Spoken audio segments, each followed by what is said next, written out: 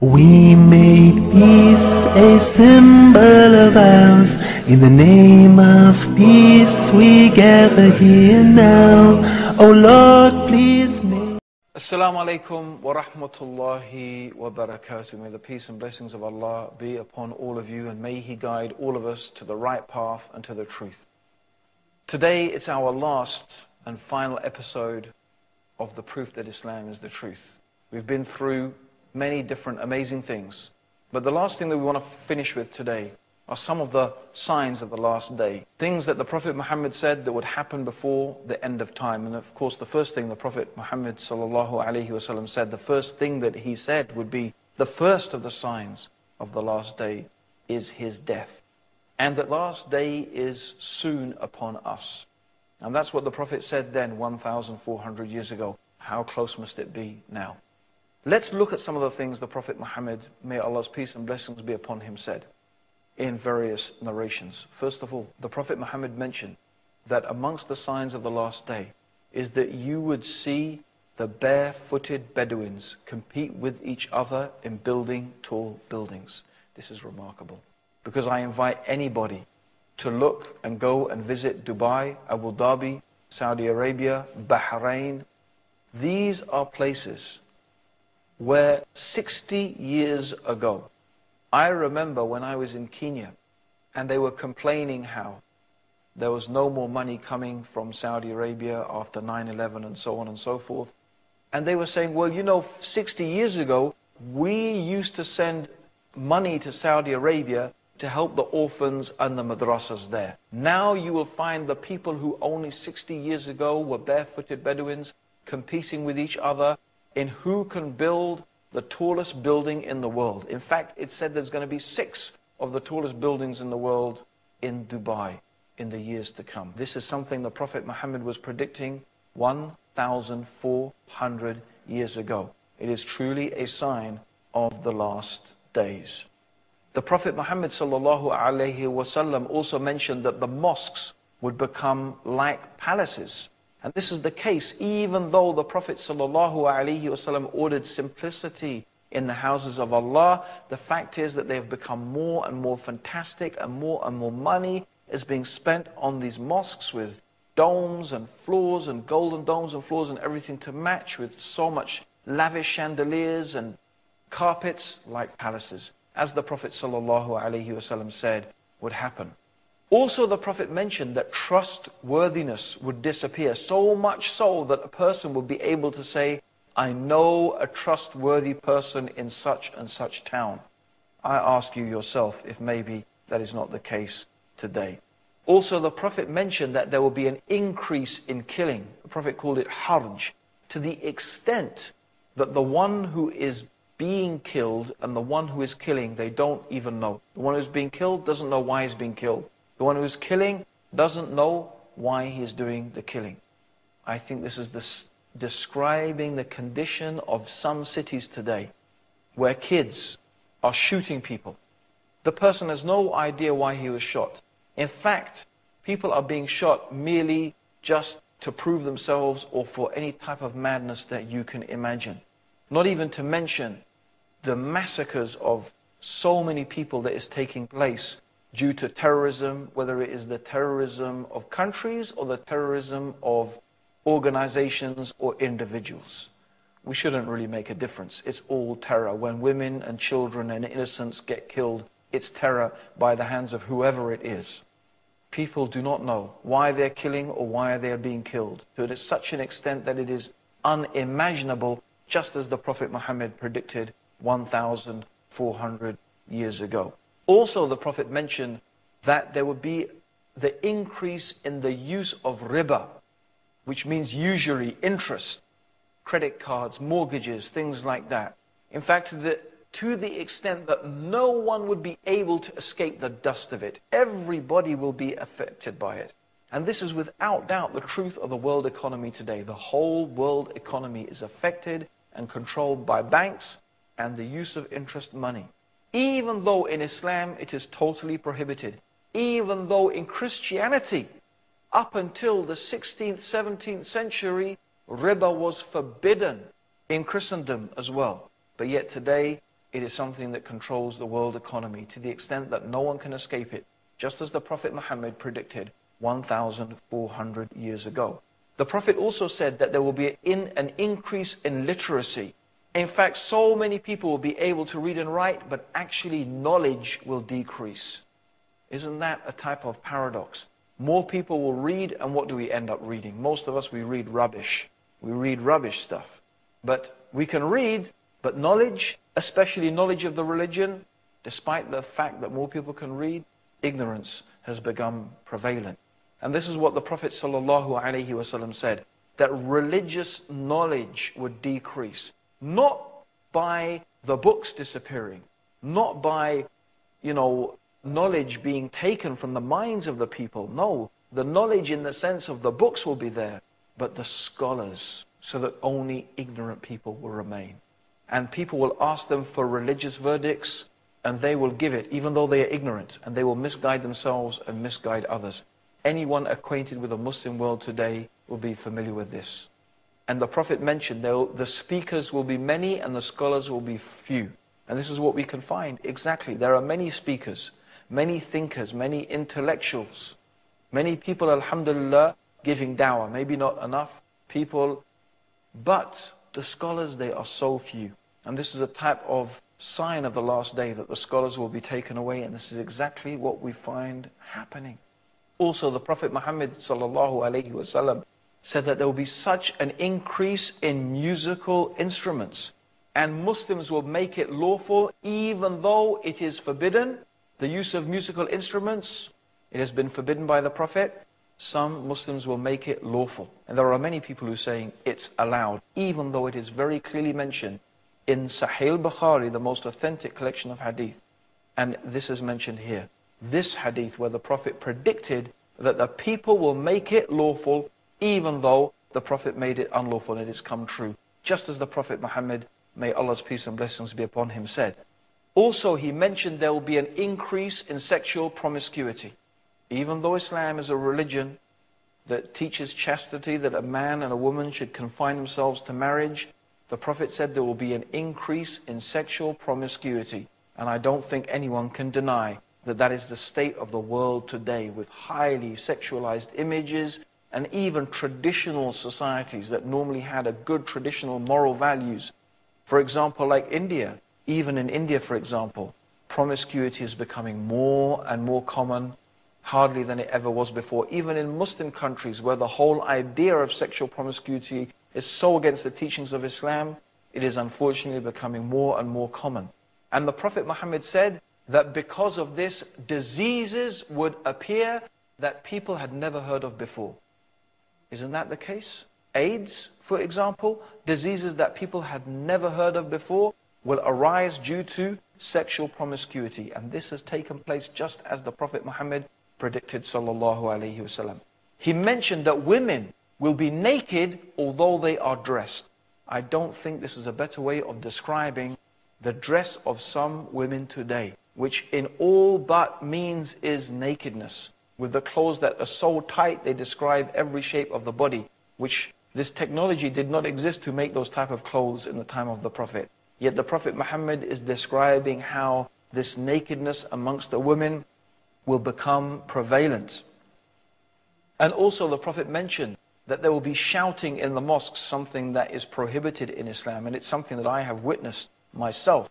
And also the Prophet said the worst and the most ignorant people will become the leaders. And really, I have to say, if we look at some of the world leaders today, even of some of the superpowers, it seems as if what the Prophet said about the worst and most ignorant people becoming leaders seems to have taken place, exactly as the Prophet Muhammad said. Also, he mentioned that a man will obey his wife and disobey his mother, something really contrary to the teachings of Islam. He will rather listen to his friends than listen to his father. And this is something that we find happening in the Muslim world, even though this is so against the teachings of Islam. Men will wear gold and silk and they will make it lawful, even though the Prophet has made it unlawful. People will abandon the religion of Islam for a small worldly gain. And keeping onto the religion will be like holding two hot coals. I am mentioning all of these things, and there are many, many more things that the Prophet Muhammad wasallam mentioned. But these are some of the small signs concerning the events that will take place before the last day. And as we can see, these things that I have gone through almost without exception, they have come true in a way that is so, so clear and so, so obvious and so, so apparent. I want to spend a little bit of time talking about some of the authenticated miracles of the Prophet Muhammad. I mean, of course, the greatest miracle that was given to the Prophet Muhammad was the Quran. But there are many authenticated miracles, and it is not often known and mentioned, that were done through the Prophet Muhammad by the power of God. For example, even at the birth of the Prophet Muhammad, may Allah's peace and blessings be upon him, when he was taken by the wet nurse Halima, and she was the only one willing to take him, even though he was an orphan. And because he was an orphan, no one was really expecting that they would get any reward and they would get well paid. But Halima, his wet nurse, and that was the tradition of the Arabs. They used to send their babies out into the desert where it was more healthy to be nursed by the Bedouin women. And Halima, she took this responsibility even though she was not really expecting much reward. And from the moment she did this, she found that everything changed. Even the goats in her tribe started to get fatter. Wherever they went, there was grass for them to feed she herself became stronger and more healthy and was producing more milk. And as long as the Prophet ﷺ was with her, she found these blessings happen. In fact, she commented to her husband and to the tribe that surely we have been given a blessed child. When the Prophet Muhammad ﷺ, before he was a prophet, one of the things that would happen was the stones would speak to him and they would say to him, Muhammad, you are the messenger of Allah. And this is the type of things that would happen. These are some miracles and true and authentic miracles that happened to the Prophet. Don't go away. We're going to talk about some more of those after the break in the proof that Islam is the truth.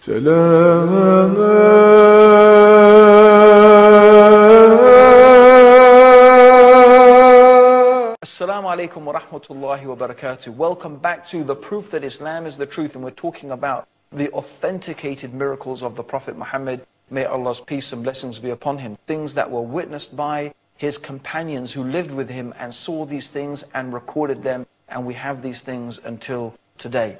And we're only mentioning a few because we don't have too much time. We can't go thoroughly into every single one. So we're just mentioning a few of them.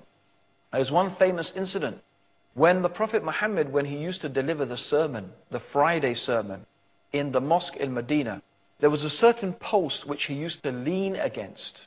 But then he decided it would be better if he stood on a type of pulpit. And so they had constructed some steps. And the Prophet Muhammad wasallam would walk up and climb and stand on those steps. And he would deliver his sermon from there. And when he walked up and climbed on the step, the post that he used to lean on began, a sound came out of it like a crying sound. And the Prophet went and stroked this. The post was crying because the Prophet Muhammad was not leaning on it anymore. And this is how the sadness the post felt because the Prophet had left it. It's an amazing thing how this crying noise was heard coming out of the post. There are many narrations that are reported where animals used to come and complain to the Prophet Muhammad. There was one example when some companions had stolen the eggs from the nest of a bird. And this bird was seen flapping round the head of the Prophet Muhammad. And the Prophet said, Who are those people who have stolen the eggs from the nest of the bird? And he told them to return it, that his mother is distressed because of what you have done. Also, a camel complained to the Prophet Muhammad that its owner was overloading it. And from this, the Prophet Muhammad warned us and told us not even to oppress the animals under our care, and that we should be careful not to overburden them with more than that they are able to take. There is a famous and beautiful story how Abu Huraira, who was one of the companions of the Prophet, used to feel so hungry. Sometimes he used to faint at the door of the mosque, and people used to tread on him because they thought he was mad. And one day he went to Abu Bakr, and he didn't want to tell anyone that he was really almost dying of hunger. So he went and he asked Abu Bakr, a question about the Quran, hoping that Abu Bakr would recognize his weakness, but he didn't. And he went to Omar and the same thing happened. But when he went to the Prophet, straight away the Prophet ﷺ said, come with me. He told Abu Huraira and to come with him and he went to his house and he asked his wives, what do we have in the house to eat? They had nothing except a bowl of milk. This is the house of the messenger of God. In the house of the messenger of God, amongst all his wives, all they have to drink between them is a bowl of milk. And the Prophet said, give it to me. Then he said to Abu Huraira, go and get the people of the bench. Now the people of the bench were all the poor people who used to sleep next to the mosque. And Abu Huraira was thinking, if I call them, there's not going to be enough milk for me. There's hardly enough milk for me, let alone to feed all the people of the bench. But then he thought, I must obey the order of the Prophet Muhammad. So he said, okay, I will do it, even because this is what the Prophet said. So he called them. And the Prophet got Abu Hurairah to sit on his left. And now in Islam, when we pass something, we pass it from the right. And so the Prophet passed this bowl of milk from the right, going around all the people. And every time Abu Hurairah is thinking, there's not going to be enough milk left for me, there's not going to be enough milk left for me. And eventually when the milk got to him, he drank from the milk. And then the Prophet Muhammad said, drink again. And he drank again. And then the third time the Prophet said, drink again. And Abu Hurairah said, I can't drink, I am full. This is a miracle, of course. How the small amount of milk was so much to feed so many people. And this is not the only time such an event happened. Also, the Prophet made a miraculous night journey from Mecca to Jerusalem and up from Jerusalem through the heavens where Allah gave him the five prayers. And he saw many wonderful signs in the heavens. Now, many people, when they heard this, they actually started to disbelieve in Islam. People came to Abu Bakr. They said, Oh, Abu Bakr, you know what your friend is saying now? He's saying he went on a journey to Jerusalem in one night and then went up through the heavens. Abu Bakr said, If that's what the Prophet said he did, it happened, because he never lies. Anyway, people started saying, Prove to us that this is the case.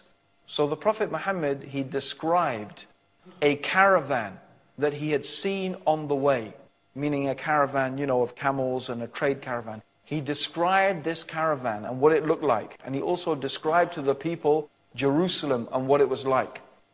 Two days later, the caravan arrived, and it was exactly how the Prophet Muhammad, may Allah's peace and blessings be upon him, had described it. And then when the people asked the caravan, they had come from Jerusalem, and they described to the people how was Jerusalem, and it matched exactly the description of the Prophet Muhammad sallallahu alaihi wasallam.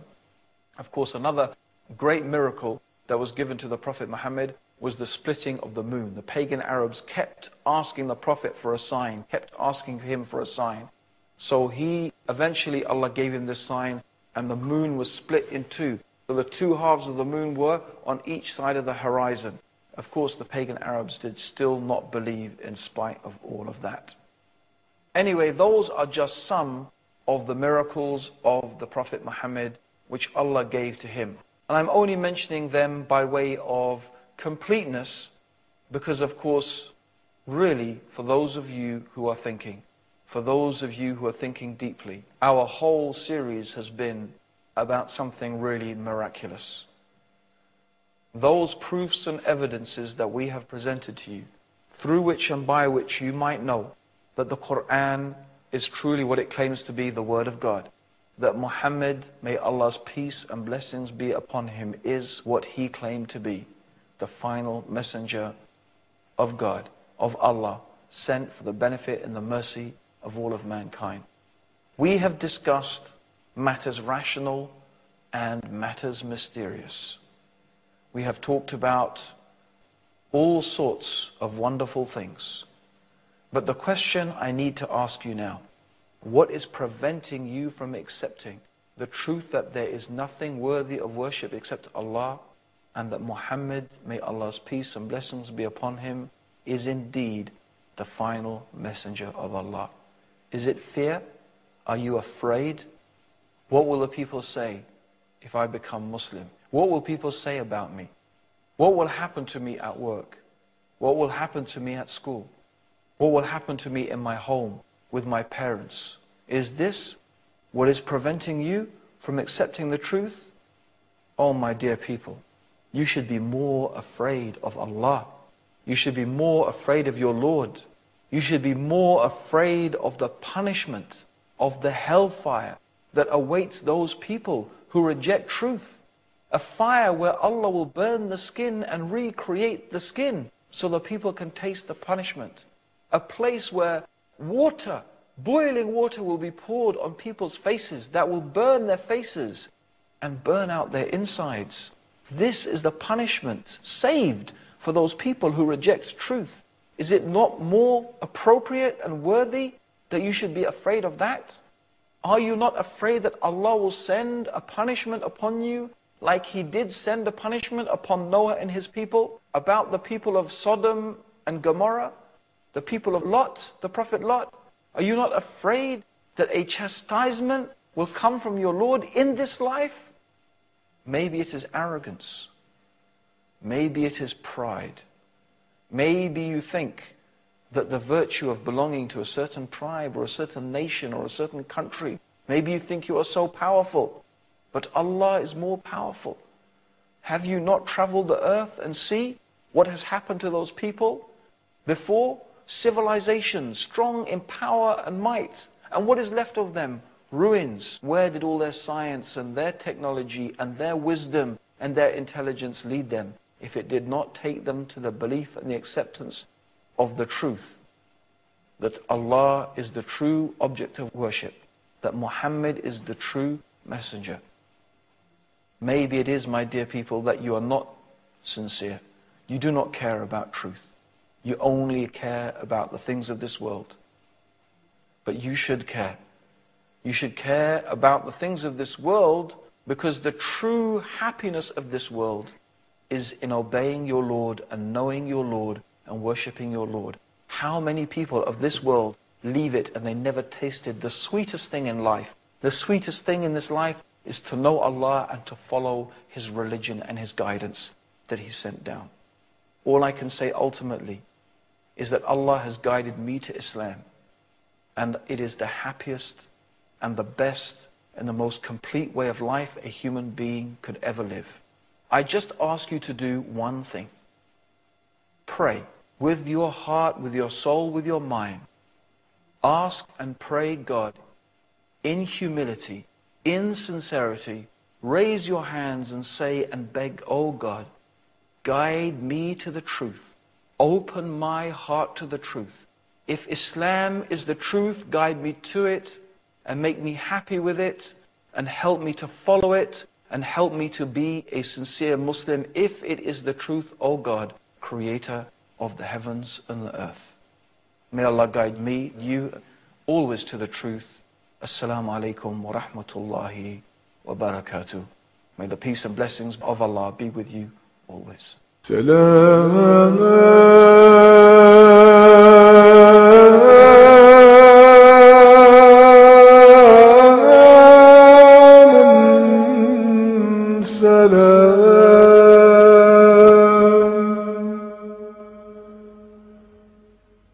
لا